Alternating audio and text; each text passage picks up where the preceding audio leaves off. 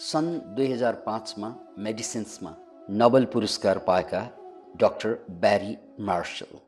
ब्यारी मार्सलले एउटा अनौठो अद्भुत कुरा पत्ता लगाएका छन् र त उनले नोबल पुरस्कार पाएका छन्। उनको एउटा प्रसङ्गबाट कुरा उप्काउँ आजको प्रवचन। हामी सबै जसोले खास गरी नेपालीहरूले सुनेको शब्द हुनसक्छ।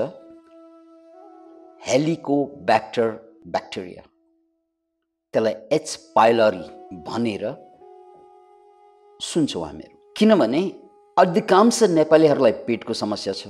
त्यो पेटको समस्या बल्झिएर अल्सर। अनि यो अल्सरको कारक तत्त्व हेलिको ब्याक्टर नै हो भनेर पत्ता लगाउने मान्छे पनि डक्टर ब्यारी मार्सल नै पेटको अल्सर प्रकारान्तरमा क्यान्सरसम्म पनि हेलिको ब्याक्टर भन्ने ब्याक्टेरियाले ल्याउन सक्छ यी रोग। ग्यास्ट्राइटिसदेखि लिएर अल्सर क्यान्सरसम्म। तर यो डक्टरले हेलिको ब्याक्टर आफ्नो पेटमा जान जान नै खन्याएका थिए एक्सपेरिमेन्टको लागि। के हुँदो रहेछ त यो हेलिको ब्याक्टरले किनकि क्यान्सर पनि गर्छ यसले ग्यास्ट्राइटिस पनि गर्छ यसले र यसले अल्सर पनि ल्याउँछ। यो पनि थाहा छ। तर यो कुरो भनेको सत्यको आधा हिस्सा मात्रै हुन्छ। सत्यको अर्को आधा हिस्सा पत्ता लगाउनको लागि उनले आफैले हेलिको ब्याक्टर ब्याक्टेरिया टन्नै पिएका थिए। तर उनी मरेनन् नोबल पुरस्कार पाएका छन्। उनलाई ग्यास्ट्राइटिस पनि भएन। उनलाई अल्सर पनि भएन क्यान्सर त परै जाओस्। कुरा बहुत गम्भीर छ विरोधाभासपूर्ण छ। त्यही हेलिको ब्याक्टरले क्यान्सरसम्म अल्सरसम्म ग्यास्ट्राइटिस गर्ने भन्ने पत्ता लगाएर नोबल पुरस्कार पाएको डक्टर त्यही हेलिको ब्याक्टर जान जान पिएर पनि केही पनि भएन। अब भन्नुहोस् त हेलिको ब्याक्टरले अल्सर ग्यास्ट्राइटिस या क्यान्सर ल्याउँछ कि ल्याउँदैन? ल्याउँछ पक्कै तर ल्याउँदैन पनि यो पनि पक्कै। सत्य मान्छे बुझ्दैनन् किनभने सत्य यस्तै विरोधाभासपूर्ण हुन्छ। असत्य मात्रै सिधा सादा हुन्छ। ठ्याक्कै असत्य देखिन्छ बुझिन्छ तर सत्य बुझिँदैन। किनकि सत्य जहिले पनि विरोधाभासपूर्ण हुन्छ। जुन दिनमा हामी जन्म्यौँ नि त्यो जन्मको साथ हामीले मृत्यु पनि बोकेर ल्याएका थियौँ। विरोधाभास भएन। जहाँ जिन्दगी छ त्यही मात्रै मृत्यु हुन्छ। विरोधाभासपूर्ण भएन। जिन्दगी छ त र त मृत्यु छ। मृत्यु छ र त जिन्दगी छ विरोधाभासपूर्ण हुन्छ जहाँ प्यार छ र त घृणा छ। यो जोडिएर जाने कुरा हो। अत ब्यारीको कुरा फेरि पनि गम्भीरतापूर्वक सुनौँ। हेलिको ब्याक्टर ब्याक्टेरियाले के ल्याउँछ? अल्सर। ग्यास्ट्राइटिस त्यहाँभन्दा चर्को क्यान्सर। तर हेलिको ब्याक्टर ब्याक्टेरिया कति पनि पेटमा भएन भने कति पनि पेटमा भएन भने किनकि एन्टिबायोटिक्स खाएर त्यसलाई साफ गर्न सकिन्छ। एन्टिबायोटिक खाएर हेलिको ब्याक्टरलाई तबाह गर्न सकिन्छ निर्मूल गर्न सकिन्छ। यसरी पेटमा कति पनि हेलिको ब्याक्टर ब्याक्टेरिया भएन भने त्यस्ता हेलिको ब्याक्टर नभएका बच्चाहरूलाई दमको रोग बढीभन्दा बढीमा देखिएको छ खास गरी बच्चाहरूमा। किनकि बच्चाहरूलाई पेट दुख्यो भन्यो अथवा विभिन्न बाहनामा डक्टरले एन्टिबायोटिक्स दिइदिन्छ अनि हेलिको ब्याक्टर्स जम्मै मारिदिन्छ र त्यो हेलिको ब्याक्टरबाट उनीहरू त बच्छन्। त्यसपछि ग्यास्ट्राइटिस अल्सर क्यान्सर त हुँदैन। तर तर आजमा सानै उमेरदेखि तपाईँले सुन्नुभएको होला विदेशमा बच्चाहरूलाई सानै उमेरदेखि आजमा अर्थात् दमको अथवा धम्की पनि भनिन्छ यसलाई। धम्की दमा रोग देखा परेको छ। त्यो ब्याक्टेरियाले अल्सर ल्याउने ग्यास्ट्रिक ल्याउने रे भएन भने चाहिँ दम ल्याउने रे गर्ने के मैले? जिन्दगी बच्चों का खेल नहीं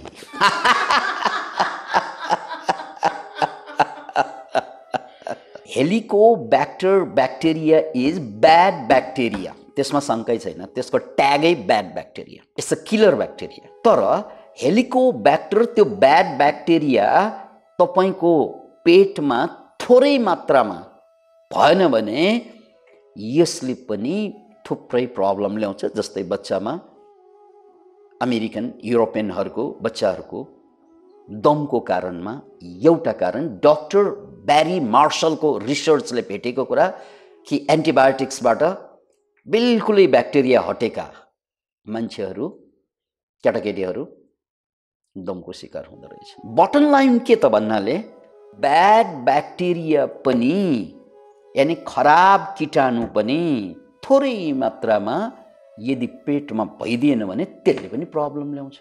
अत पेटमा गुड ब्याक्टेरिया बढी हुनुपर्छ।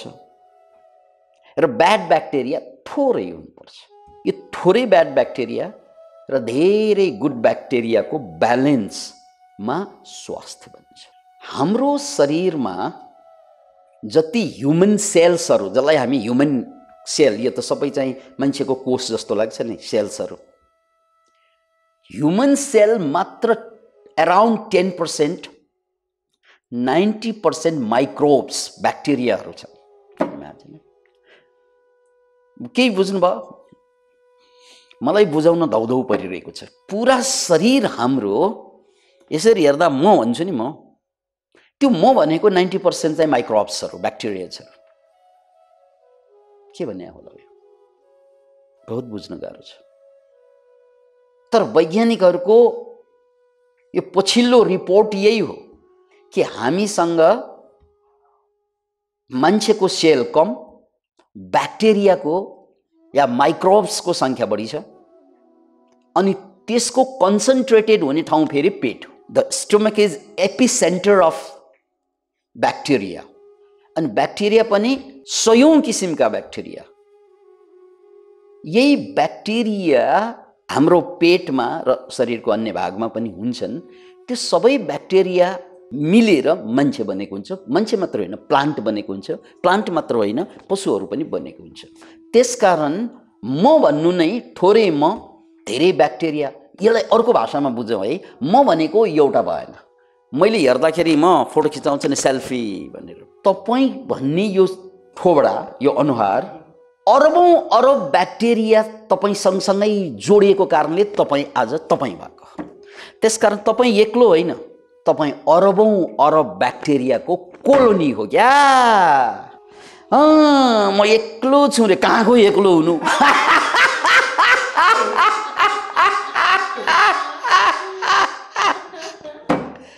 अरबौँ ब्याक्टेरिया यदि ती ब्याक्टेरिया फेरि राम्रो पनि नराम्रो पनि ती ब्याक्टेरियाको सङ्ख्या घट्दै गयो भने अनि तपाईँ हजारौँ रोगको शिकार बन्दै जानुहुन्छ क्यानिमा आज बहुत ध्यानपूर्वक सुन्नुहोस् यदि ब्याक्टेरियाको भेराइटिजहरूमा त्यो ब्याक्टेरियाहरूको भेराइटिज जसलाई माइक्रोबायोम भनिन्छ त्यो माइक्रोबायोम ब्याक्टेरियाको भेराइटीहरू घट्दै गयो भने एन्टिबायोटिक्स खाएर पनि घट्छ धेरै तनाव लिएर पनि घट्छ व्यायाम नगर्दा पनि घट्छ। ठ्याट्टै भन्ने एन्टिबायोटिक्स औषधिहरू धेरै प्रयोग गर्नेहरूको पनि ब्याक्टेरिया घट्दै जान्छ। धेरै चिन्ता लिँदा पनि ब्याक्टेरिया सिद्धिँदै जान्छ। र व्यायाम नगरिकन अल्छ्याइ गर्नेहरूको पनि ब्याक्टेरियाको सङ्ख्या प्रजातिहरू कम हुँदै जान्छ। यिनीहरूको सङ्ख्या जति कम भयो सङ्ख्या मात्र होइन। यिनीहरूको जातिहरू थुप्रै जातका ब्याक्टेरियाहरू जति कम हुँदै गयो निर्मूल हुँदै गयो त्यति तपाईँ रोगसँग लड्ने क्षमता हराउँदै जानु। त्यसकारण यो कुरा बुझ्नुहोस् तपाईँको पेटमा जति बढी जातका ब्याक्टेरियाहरू हुन्छन् जति बढी भेराइटीका ब्याक्टेरिया हुन्छन् त्यति नै तपाईँसँग रोगसँग लड्ने ताकत क्षमता बढ्थ्यो। अत मान्छे विभिन्न रोगका शिकार हुन्छन्। क्यान्सरदेखि लिएर आर्थराइटिस थाइरोइड ग्यास्ट्राइटिस नाम जति लिन सक्नुहुन्छ लिनुहोस्। ती प्राय सबै रोगको मूल कारणमा यो पछिल्लो रिसर्चमा के भेटिएको छ भने मान्छेसँग ब्याक्टेरियाको सङ्ख्या र समूह कम हुँदै गएको छ आधुनिक युगमा।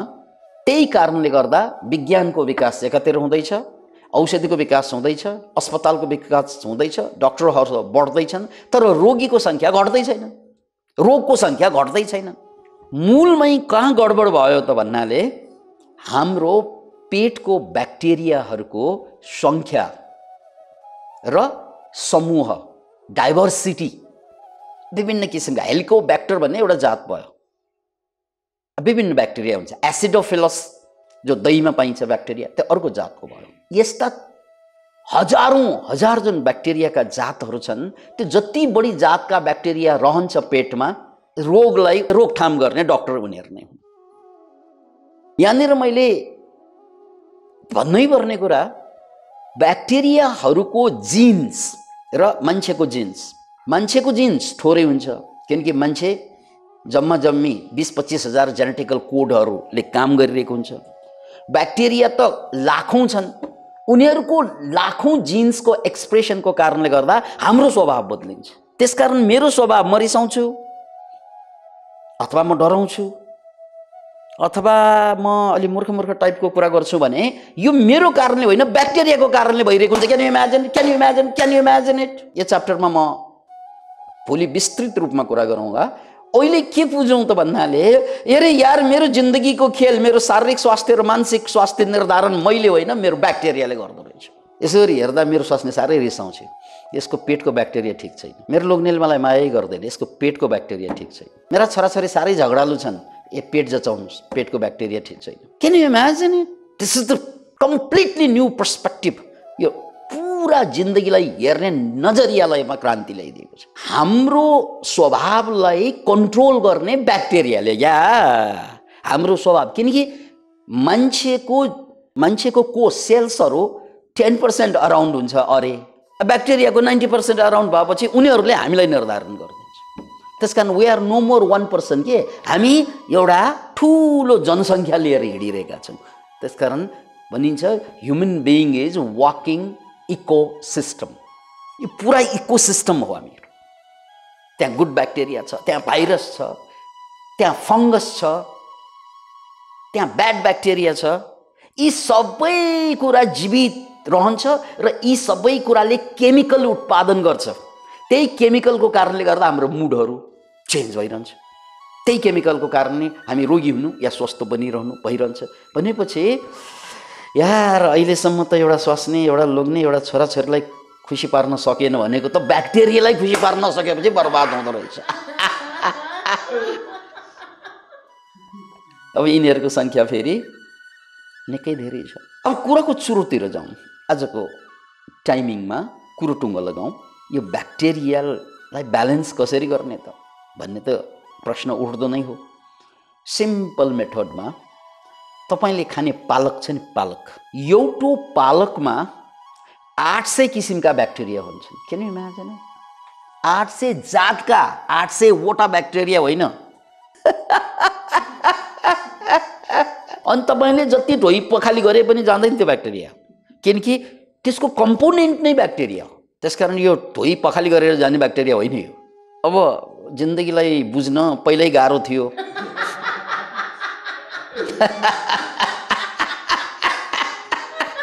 पहिल्यै हामी बहुत लफडामा फँसिसक्यौँ जिन्दगीको मामलामा.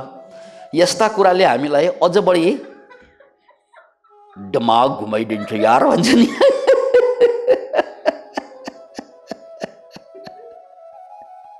फेरि बुझ्नुहोस् एउटा पालकमा आठ सय किसिमका ब्याक्टेरिया हुन्छन्।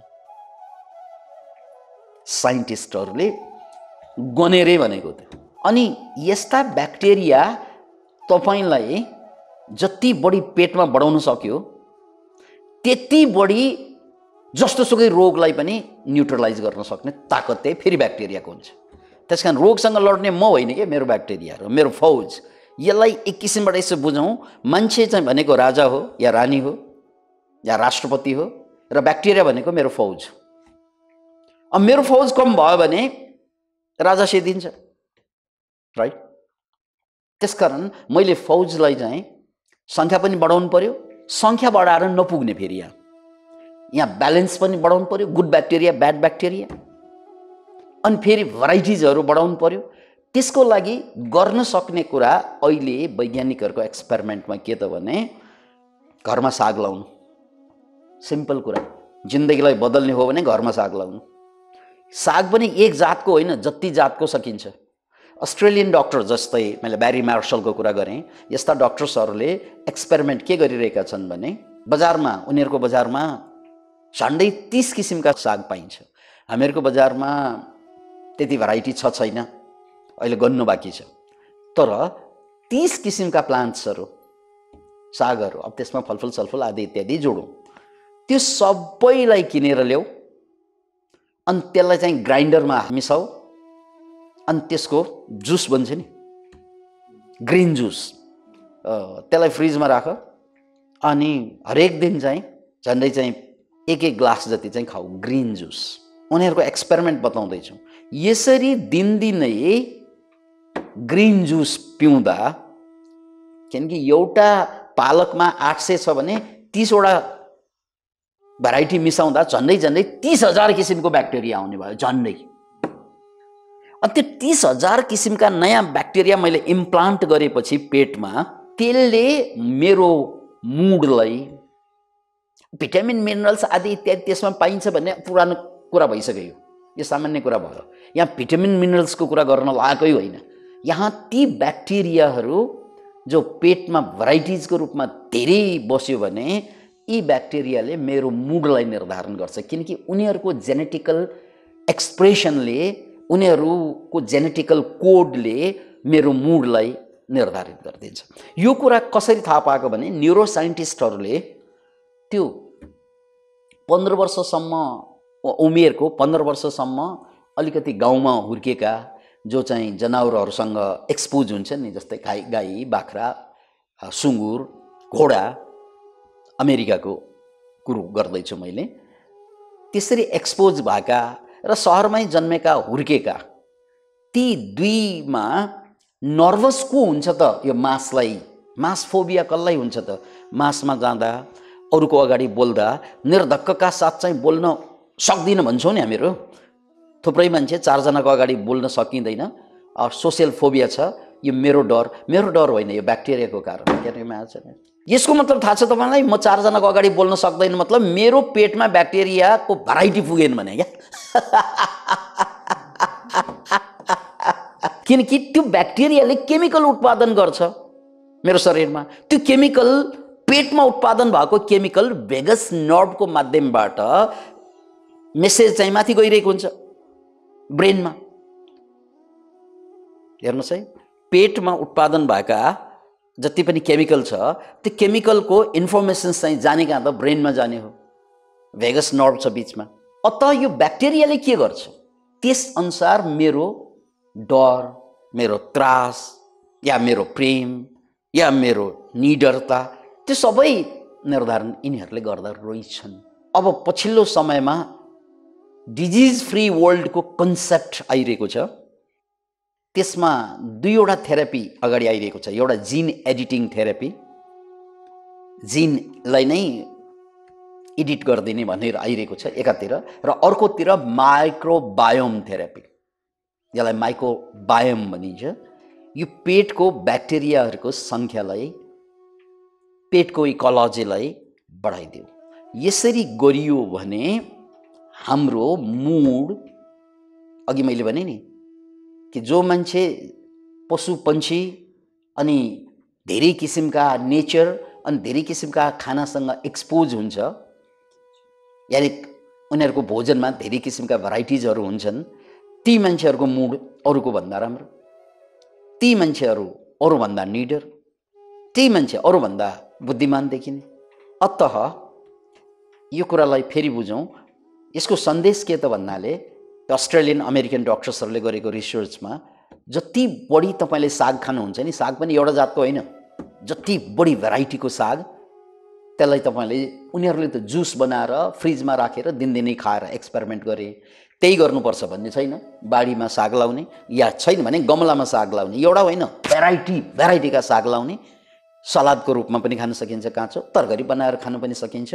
त्यसलाई दैनिक रूपमा खाएर हेर्नुहोस् गट ब्याक्टेरिया चाहिँ विल बी चेन्ज तर यो छिटो हुँदैन। इट टेक्स टाइम कमसे कम यो परिपाटी पूर्णतया तपाईँको लाइफलाई चेन्ज गर्ने स्वस्थ रोगमुक्त जिन्दगी बाँच्नलाई एक वर्ष तपाईँले त्यो अभ्यास गर्न सक्नुभयो भने त लाइफको प्याटर्न चेन्ज हुन्छ। लक्षण त तिनै दिनमा देखिन्छ। तिन दिन मात्रै तपाईँ लगातार धेरै किसिमका सागहरू तरकारीमा या चाहिँ सलादमा समावेश गरेर खाँदा पनि फरक हुने भयो। एउटा पाटो यो भयो। अनि ब्याक्टेरियासँग एक्सपोज हुने अर्को तरिका के त भन्नाले कुकुर पाल्नु बिरालो पाल्नु घोडा पाल्नु जनावर पाल्नु र उनीहरूसँग खेल्नु। किनकि उनीहरूसँग भएको गुड ब्याक्टेरिया र ब्याड ब्याक्टेरिया दुवै हुन्छ। यदि ब्याड ब्याक्टेरिया धेरै बढ्यो भने सिद्धियो मान्छे रोग भयो। तर गुड ब्याक्टेरिया पनि हुन्छ। त्यो गुड ब्याक्टेरिया बढ्यो भने त्यो ब्याड ब्याक्टेरियालाई त्यसले चेकमा राख्छ। त्यस कारण समाजमा खराब मान्छेको कारण समाज बर्बाद हुँदैन। असल मान्छे कम भएपछि समाज बर्बाद हुन्छ।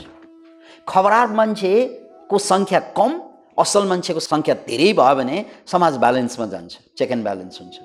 तर होइन असल मान्छे हट्दै गयो भने एउटै खराबले बर्बाद पारिदिन्छ एउटै खराब मान्छेले पनि समाज बर्बाद पारिदिन्छ परिवारमा पनि त्यही हो समाज हामी बुझ्दैनौँ परिवार त बुझ्छौँ।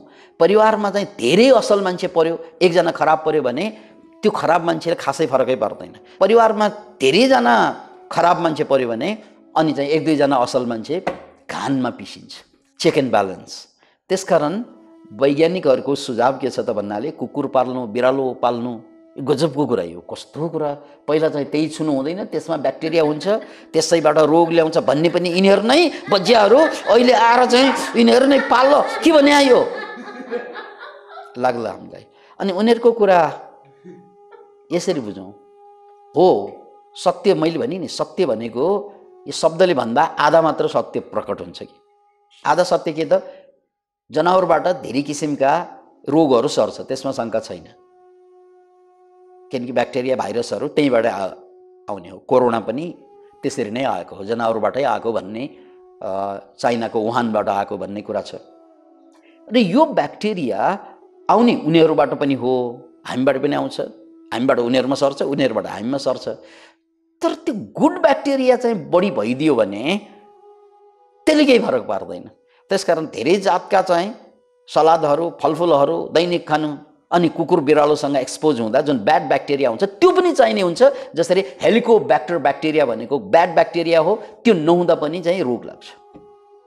त्यस कारण लाइफ इज ब्यालेन्स तपाईँले डाइटलाई ब्यालेन्स गर्नुपर्छ अनि कुकुर बिरालोमा एक्सपोज हुनुपर्छ। यो दुई कुरा एकसाथ चाहनुपर्छ यदि तपाईँको खानामा भेराइटिज खाना अब खाना खाँदा भेराइटिजको खानाहरू खाने गर्नुहोस्। थोर थोर थोर थोर थोरै तर भेराइटिज खाना खानुभयो भने त्यसले बढीभन्दा बढी किसिमका ब्याक्टेरियाजहरू डेभलप गर्छन्।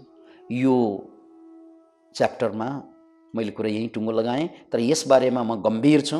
बहुतै गम्भीर छु र बहुतै आशामुखी छु कि आगामी संसारमा यो दीर्घकालिक रोगमुक्त संसारको निर्माण हुने सम्भावना छ।